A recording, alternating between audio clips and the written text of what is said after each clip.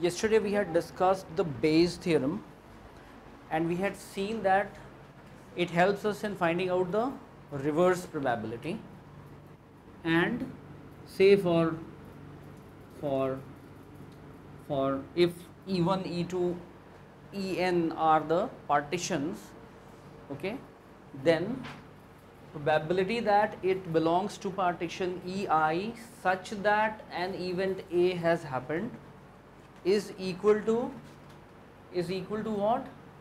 Probability of ei happening multiplied by probability of probability of a such that ei okay divide by by for PA we use the total theorem on probability and we had got PE1 into PA such that E1 plus PE2 into PA such that E2 plus it will go till PEN into PA such that En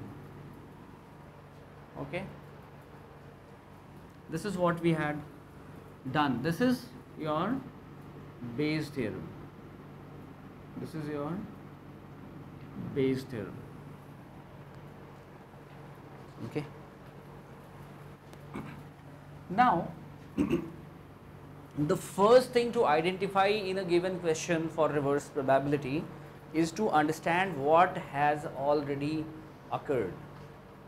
And whatever has occurred whatever has occurred that should be taken as as a. Okay? So what has occurred here?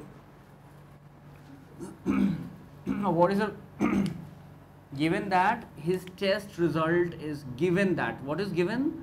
That his test result is positive. So immediately you know that this is A. So A is test result positive. Test result positive is A. Now what are you supposed to find? What is the probability that the person has the disease? So that should be one of the partitions. Okay, whatever is here should be the partition. Okay, so I take E1 is person has the disease. Now if if person having the disease is a partition say this has disease then what can be the other partition does not have disease hmm? Doesn't have disease right? So e2 will be person doesn't have disease okay? So have we partitioned it completely do we mean to say that e e1 union e2 is all the sample space? Yes. If i pick up the population either someone has the disease or someone doesn't have the disease. Fine everyone is covered. There will be not a single person who will say no I do not belong to any of these categories. A live person. Okay? So so so fine. I have partitioned it completely. Fine. Now I have to do what I have to find what I have to find find PE1 so probability that the person has the disease, 0.1% of the population actually has the disease. So this is the probability, 0.1%.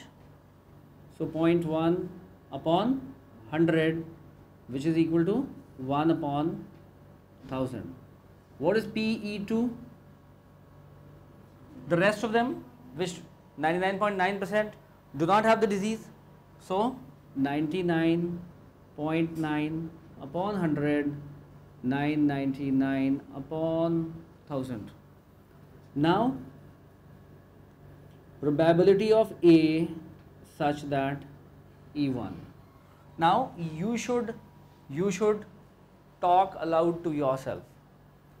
Probability that the test result is positive given that the person has the disease. Okay? The probability 99% effective in detecting a disease when it is in fact present.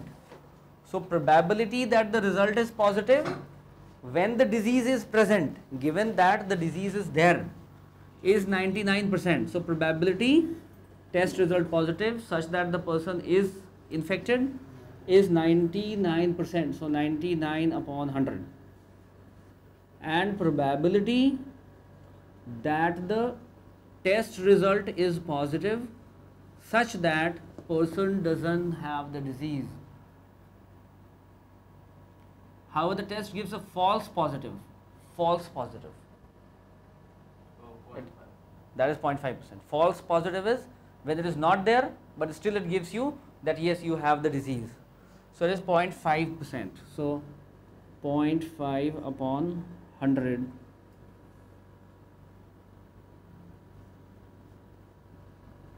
that is 5 by 1000 why did i multiply it by 10 i want everything to be the same. Okay? If the lcms are the same i just have to bother about my numerators. Fine? Now you just do what you are supposed to find out what you are you are supposed to find out probability that the person has the disease.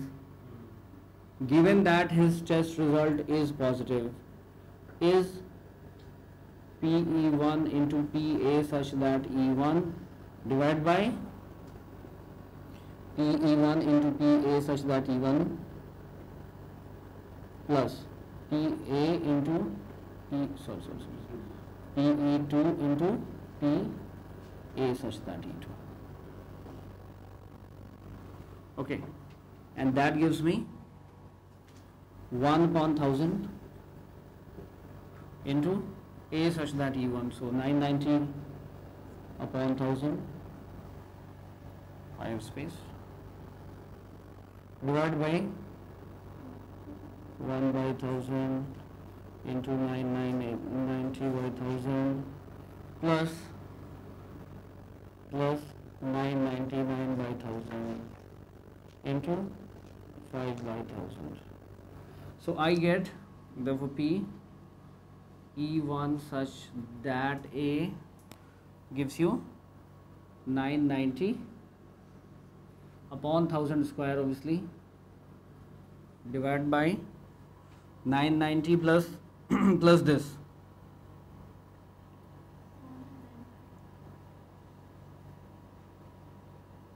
hmm, 5000 minus 5 4995 now 49 so 990 plus 4995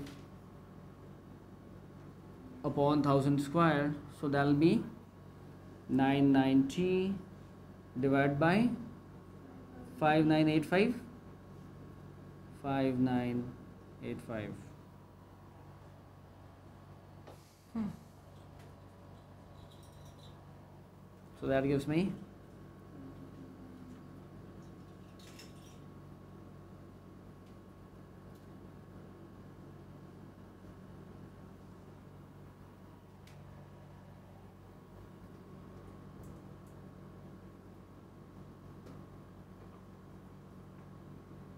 So it will be divisible by divisible by 3 you know the uh, you know the rule for div- divisibility by 3 no if sum of the numbers is divisible by 3 it is divisible by 3 18 and 18 so again yes so 22 by 133 anything more no 22 is not divisible by by 3 22 is not divisible N- neither is 133. So why should we be looking for 3? 22 by 133 should be the answer. Hmm? Check the answer. So, and you write here the probability that the person has the disease provided the result is positive.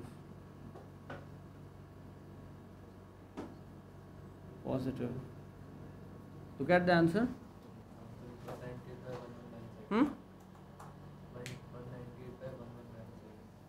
198 by 1197. So they have left it here, it seems. Hmm?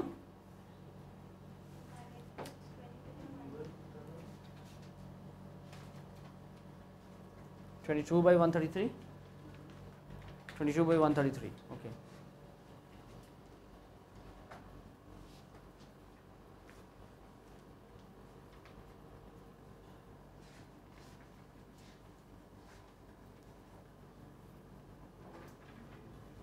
Twenty-two by one three three. Hmm? Now, now look at the whole drama. It's a big drama. What? See, the test is 99% effective. Hmm? The the test is 99% effective and 99 point, uh, point only 0.1% of the population is having the disease which is which is a normal case this is how you design your tests right a test cannot be say 70% positive though we were running certain tests in tb there that were 70% positive now you can very well understand if so this is normal kind of scenario when, when there is no outbreak of any any disease or any any kind of dengue or something okay? Now what happens the you got the result positive.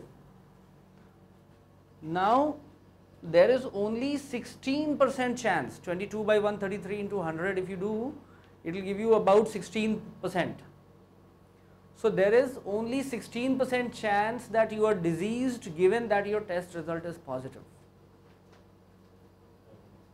Mhm. Now that's weird. That's simply weird. That means out of six people getting a positive result, only one has confirmed existence of some microbes inside his body. Rest are disease free. Test is that's what test is. So you, you, you, look at it like that. Okay, so don't start jumping with the test. Hmm? Though the doctors really start jumping with joy because you are a big murga for them. But there is only 16% chance that you are having the disease given your test is positive and this is a very sure shot test. If it tests 100 people with disease, it gives only one false negative. That means one person will be having the disease, it will say that it does, he doesn't have the disease. And mind it, there are no tests which are 100% foolproof. No tests. So, with this normal kind of thing, this is the result. It's an eye opener.